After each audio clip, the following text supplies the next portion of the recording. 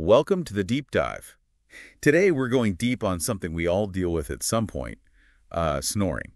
We're going to figure out what causes it when it's a real problem Yeah. and how to make it stop. Yeah, it's kind of wild, right? So many people snore, but so few people actually understand what's going on. Exactly. It's like this mysterious nighttime noise that just happens. So let's just start with the basics. What exactly is snoring anyway? You know, at its simplest, it's really just the vibration of the tissues in your throat when you're sleeping and air is passing through. It's kind of like, uh, you know, when you see a flag waving super fast in the wind, that's basically what's happening in your airway. Okay, I get that. So does that mean the narrower the airway, the louder the snore? Like trying to stuff a giant tuba through a tiny doorway? That's a pretty great way to put it. And you're right, certain things about your anatomy can make your airway narrower. Like if your tonsils are big or the wall between your nostrils is crooked. Uh, that's called a, a deviated septum, by the way. And even just the way your mouth and throat are shaped can play a role. So some people are basically just born more likely to snore. Yeah, that's definitely part of it. But it's not the whole story. The things you do, like how you live, can also make you snore louder.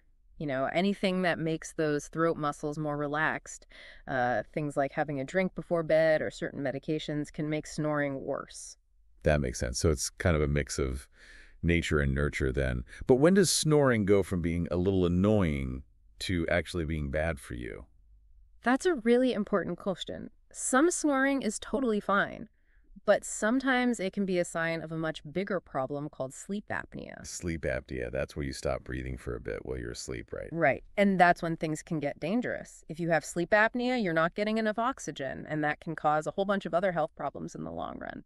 So what should people be looking out for? How can you tell if your snoring is maybe a sign of something more serious? Well, there are a few red flags. Like, if your snoring is super loud, almost scary loud. And if you're feeling super tired during the day, even after you think you slept enough. And if you're gasping or choking in your sleep, if you notice any of that, or your partner does, it's definitely time to talk to a doctor. Okay, good to know. So we've figured out why people snore things like their body, the way they live, and even a bigger problem like sleep apnea. But what about solutions? How do we make it stop? Where do we even begin? That's where things get really interesting. There are actually a ton of things you can try to stop snoring, from simple changes to your everyday life to more serious medical stuff. Okay, I'm ready. What are some of the easiest things to try first? Well, one of the most effective and honestly often forgotten solutions is to just try sleeping in a different position. Wait, really? Just changing how I lie down can make a difference. It really can. When you sleep on your back, gravity pulls your tongue and the soft part at the back of your mouth back towards your throat. That makes it easier for them to block your airway. Sleeping on your side helps keep everything in place so you can breathe easier. So it's like strategic sleeping to snore less. I like that. Are there other easy things I can do? Of course. If you have a stuffy nose at night, dealing with that can make a huge difference. So those nighttime sniffles are more than just annoying. They could actually make me snore more. Exactly. If your nose is stuffed up, you're more likely to breathe through your mouth, and that leads to, you guessed it, more snoring. That makes total sense. So what's the best way to deal with that? Just use nasal spray. Well, it kind of depends on why your nose is stuffy. If it's allergies, you can try over the counter antihistamines or nasal sprays with corticosteroids. If it's a cold, those saline rinses can help clear out mucus. Oh, and a humidifier can help too. It adds moisture to the air and soothes your nose. Sounds like a whole plan of attack. But what if all that easy stuff doesn't work? What else can we try to stop snoring? There are definitely other options. Things like those nasal strips and special mouthpieces can actually be super helpful for some people. Hold on, you mean those little strips you stick on your nose actually work? They really can. They gently pull your nostrils open, which makes more space for air to flow through your nose. And those mouthpieces, they're custom made to fit your mouth, and they help keep your jaw and tongue in the right spot so your airway stays open. Wow, it's crazy how much science goes into getting a good night's sleep. Mm. We mentioned those CPAP machines earlier, the ones with the masks. Are those only for people with serious sleep apnea? CPAP machines are definitely the main treatment for sleep apnea, but they can also help people who snore a lot even without apnea. So how do they work? Basically, the CPAP machine blows a constant stream of air through a mask that you wear when you're sleeping. It's like a little splint for your airway, keeping it open so you don't snore and you don't stop breathing. So it's like a gentle hug for your airway, making sure the air keeps flowing. Haha. yeah, that's a great way to put it. It might take a little while to get used to, but for a lot of people, it totally changes how they sleep and how they feel overall. This is all super interesting, but I feel like we've only just scratched the surface. There's so much more to learn about how to stop snoring. You're right. We've laid the groundwork, but there's still a whole world of strategies and techniques to explore. We were talking about some of the first things you can try to stop snoring, like changing how you sleep and dealing with the stuffy nose. Yeah, it's crazy how those little changes can really make a difference. But what about people who just snore no matter what? What can they do besides those nasal strips and mouthpieces? Oh, there are more options for sure. For those really stubborn snorers, there are some techniques that can be super helpful that people don't always know about. Okay, I'm listening. What kind of techniques? Well, one thing that's becoming more and more popular is doing throat exercises. Throat exercises, like for singing. Haha. Not exactly. These exercises are all about strengthening the muscles in your throat and the soft part at the back of your mouth. The idea is to make them stronger so they're less likely to vibrate and block your airway when you're sleeping. So it's like a workout for your airway. I've never heard of that. Yeah. What kind of exercises are we talking about? There are all kinds, but some easy ones are things like repeating vowel sounds or doing tongue stretches. You can even just hum for a few minutes every day. That sounds almost too easy to work. Is there any proof that it actually helps? Actually, yeah. There was a study in the Journal of Sleep Research that found that people who did these throat exercises regularly for three months snored a lot less often and not as loudly. Wow, that's pretty impressive. Seems like it's worth a shot, especially for people who want to try something more natural. Exactly. And the best part is these exercises are easy to do. You can do them anywhere and you don't need any special equipment. Speaking of natural stuff, we talked a little about lifestyle changes before. I'm curious to hear more about that. Yeah, making changes to how you live can make a huge difference when it comes to snoring.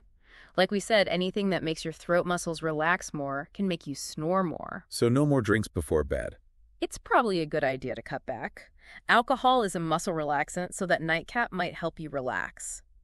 But it might also mean your partner gets a symphony of snores. Good point. What about weight? I always hear that losing weight can help with snoring. Is that true? Definitely. If you carry extra weight, especially around your neck, it puts pressure on your airway and makes it more likely to collapse when you're asleep. So it's not just about fitting into your jeans, it's actually good for your sleep to be a healthy weight. You got it. Even losing a little bit of weight can make a big difference in your snoring. And it's not just about the number on the scale, it's about being healthy overall. Makes sense.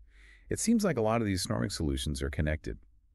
Taking care of your body can help you sleep better, and sleeping better can help you be healthier. It's like a good circle. Exactly. It's all about finding those little changes you can stick with that make a big difference over time. You know, we can't talk about snoring without talking about the person sleeping next to the snorer. Snoring can really cause problems in relationships. Oh, absolutely. It's not just the person snoring who suffers, it's the person trying to sleep next to them. Exactly. So what advice do you have for couples dealing with this? How can they figure things out without losing sleep or getting on each other's nerves? The biggest thing is to talk to each other openly and honestly. It's important to be kind and understanding when you talk about it, not blaming or getting angry. So no more snarky comments or elbowing each other in the ribs. Ha ha, definitely not. Mhm. It's important to remember that snoring is usually something people can't control. They might not even realize they're doing it. That's true. So instead of getting frustrated, you should work together to find solutions. That's the best way to do it. Work as a team to figure out what might be causing the snoring and try out some of the solutions we've been talking about. Sometimes something as simple as sleeping in a different position can make all the difference. That's really helpful advice. It seems like there's a bigger idea here, whether it's changing how you live, doing those throat exercises, or just talking to your partner, dealing with snoring, is all about taking charge and trying to sleep better. You nailed it. It's about taking control of your sleep instead of letting snoring ruin it.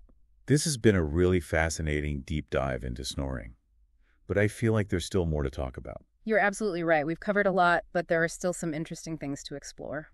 Welcome back to the deep dive. We've really dug deep into this whole snoring thing, from how it works to all the different ways to try and stop it. Yeah, it's been pretty amazing. Who'd have thought you could exercise your throat to sleep better, right? But before we finish up this deep dive, I want to go back to something we talked about earlier that connection between snoring and how healthy you are overall. Oh, yeah, that's important. Snoring isn't just annoying, it could be a sign of a bigger problem, like sleep apnea. Right. And like we said, sleep apnea can be more than just feeling tired. it can actually increase your risk for some pretty serious health problems down the line. No kidding. Things like heart disease, high blood pressure, even a stroke. Those are nothing to mess with. Exactly. So making your snoring stop isn't just about getting a good night's sleep, it's about taking care of yourself in the long run, too. That makes sense. So it's not just about you getting a good night's sleep, it's about staying healthy overall. Exactly. It's about taking care of your health now to avoid problems later, and realizing that even small changes can make a big difference. So if there's one thing you want our listeners to take away from this, what would it be? I think the biggest thing is to remember that you don't have to just live with snoring. There are things you can do. And there's nothing wrong with asking for help. I agree. Whether it's talking to your doctor, trying out some of those lifestyle changes we talked about, or even just talking honestly with your partner, there are definitely things you can do to get better sleep. And remember, even small changes can make a huge difference. It's all about finding what works for you and sticking with it so everyone can sleep better. That's great advice. Well, this has been a really eye-opening look at the world of snoring.